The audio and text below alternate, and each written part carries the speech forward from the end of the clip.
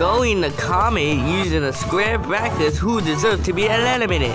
Whoever gets the most vote will leave the show.